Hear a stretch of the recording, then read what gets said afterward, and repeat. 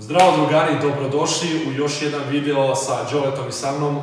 Danas ćemo pričati o četiri glavna mita u fitnessu, to jest najzastupljenija mita u fitnessu. U narednim epizodama pratit će nas novi sponsor Lancast Sport. Svu kvalitetnu sportsku opremu možete pronaći na njihovom sajtu.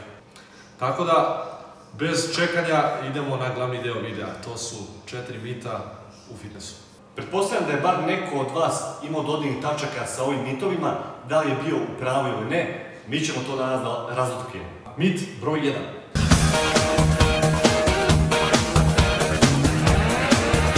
Jedno od najvećih zabluda jeste to da će zbog treninga sa tegovima žene izgledati manje ženstveno. Dizanje tegova se obično opisuje kao isključivo muški sport, zar ne?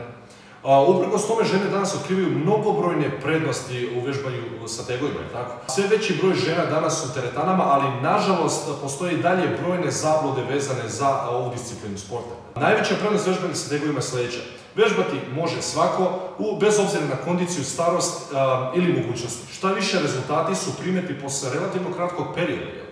Korišćenjem tegova mišići jačaju i dobijaju drugačiji oblik. S jedne strane, vežbanje tegovima je dobar način za dobijanje kondicije, dok s druge strane poboljšava posturu tela i osjećaj samopouzdanja.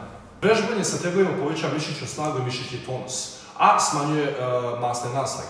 Praktično je nemoguće pri umerenom vežbanju i rekreativnom vežbanju postići preveliku mišićnu masu. Potrebno je barem 3 do 5 godina ozbiljne fizičke aktivnosti u smislu treninga da bi se postigla recimo forma nekog bodybuildera na takmičenju i sl. Muškarci imaju mnogo veću koncentraciju hormona testosterona u telu u odnosu na žene i iz tog razloga žene ne mogu da postignu istu mišićnu masu kao muškarci, zato što procent testosterona u telima žena je čak do 20, čak u nekim slučajevima i do 25% manje. Žena nikada ne može razviti istu mišićnu masu kao muškarac, ali to je prosto jednostavno anatomski nemoguće. Mit broj 2.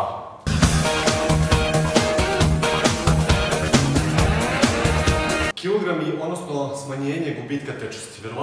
Vjerovatno vam se dešavalo da kada vidite nekoga da je izgubio veliki procenat e, telesne težine, vi odmah kažete pa da on je izgubio maksimalnu količinu tečnosti i ostalo. To zapravo fiziološki nije moguće. Jer u bilo kom trenažnom procesu posljedice bi bile alarmantno velike.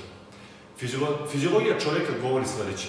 Jedan od osnovnih homeostatskih uslova čovjeka je i održavanje relativno konstantne zapremine i sastava telesnih tečnosti u organizmu. Pričamo sada o gubitku tečnosti iz organizma koji su uključeni dnevno u naš život. E, izvori su sljedeći. Pod jedan gubitak putem pluća i kože iznosi negdje oko 700 ml putem znoja, odnosno evaporacije kroz kožne nabore, gubimo između 200 i 2000 ml u zavisnosti od trenažne aktivnosti, utjecaja spoljačne toplote, termoregulacije, telesne temperature i ostalo. Putem fecesa između 200 i 300 ml tečnosti. I putem bubrega, odnosno mokrećim kanalima, gubimo između 1200 i 1500 ml tečnosti. Ako dozvolimo preveliko smanjenje tečnosti u organizmu, to predstavlja negativan balans vode i minerala u istom, što može, da izazove velike fiziološke nuspojave, e, odnosno ulazak u fiziološku ili patološku dehidrataciju. Ako dozvolimo 1% gubljenje telesne tečnosti putem vode, prag osjećaja žeđi, početak poremećaja termoregulacije i pad sportske efikasnosti za 10 do 15%. Ako dozvolimo 2% smanje, e, gubitka telesne tečnosti, dolazimo do smanjenja kontrole temperature, srčana frekvencija se povećava, i imamo snažan osjećaj žeđi. 3% je gubitak e, tečnosti do 20% je smanjena mišićna efikasnost. Od 4 do 6% smanjena sposobnost do 30% i narušena koordinacija.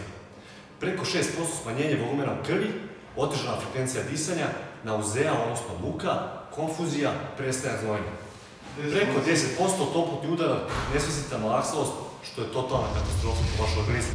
Kada znamo ove podatke, jasno vam je da i kada smršate vaše tijelo ne gubi samo tečnost, jer da je tako bio bi pogubno za vas. Organizam tako ne funkcioniše. Mit broj 3.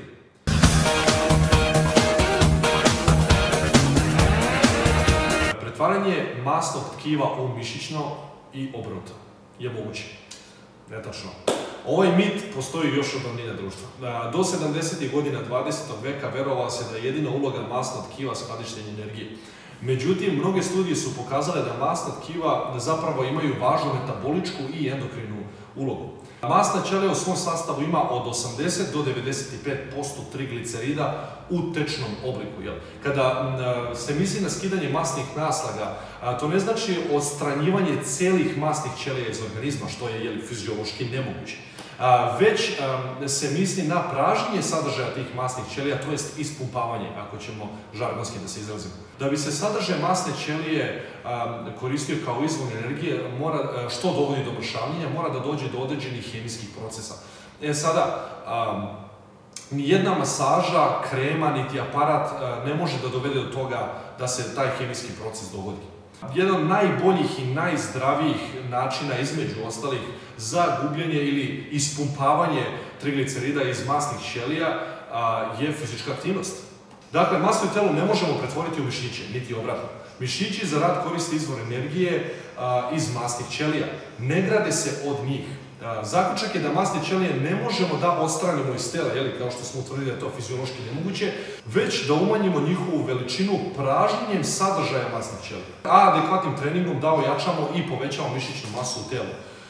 tako dolazi do prave rekompozicije tela. Mit broj 4.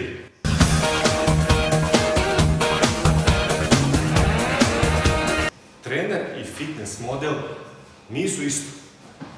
Danas je sve u obliku vizualizacije. Bez kontrole je dozvoljeno svima da se bave trenerskim poslom, nažalost. Profit se gleda pre profesionalnosti, kvantitet pre kvaliteta, a marketing je zloupotrebljen od strane kvazi stručnjaka koji mogu da putem medija šire svoje neznanje. Poučimo od osnovnih stvari koje karakterišu trenere. Ili ne, to što je neko zgodan ne znači da je stručan da drugom pomogu u rješavanju zdravstvenog statusa i problema koji ima.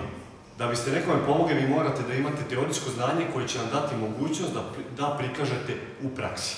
Trener kao i lekar, farmaceut, stomatolog, eh, anestezijolog, eh, također može da napravi velike zdravstvene probleme i hronično naruši vaše zdravstvene status.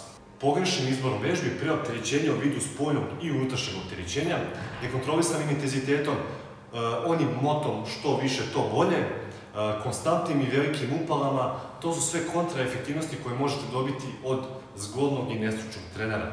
Biti trener ne znači provoditi sate i sate pred kamerom, već sate i sate provodeći učeći, odlaziti na seminare, u razgovorima sa ostalim trenerima, profesorima, istraživanjem, napređenju svojih vještina, logike i rezultata. Trener se ne postaje tako što ste najjači u teretani, što možete podignati 150 kg iz bench presa ili čučija, Vjerujte, to nikoga ne zanima. Trener pristojnog izgleda, pored znanja, logike, praktične primjene i pedagoškog pristupa koji omogućava testiranja, pravilno izvođenje tehnike, razgovetna objašnjenja na svako vaše pitanje ili nedoumicu će vam bez ikakvog problema napraviti rezultat koji vi želite. Bezbedno.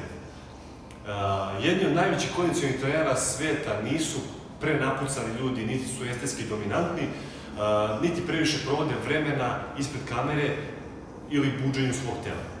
Funkcija je uvijek pre estetike. Naravno, čast izuzecima među trenerima koji i pored ogromnog znanja nisu sujetni i zaista izgledaju dobro i bave se svojom formom.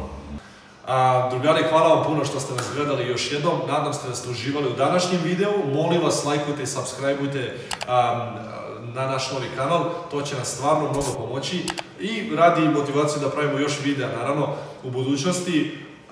Joel, imaš još nešto dodaš za kraj ili to? Također, ako imate neki novi mit koji vam je nejasan, uh, ili komentar, slobodno nam pošaljite ovaj, poruku preko društvenih mreža ili preko YouTube kanala, stavite komentar, Laza i ja ćemo vam odgovoriti u što kraćem vremenskom periodu. Ćao!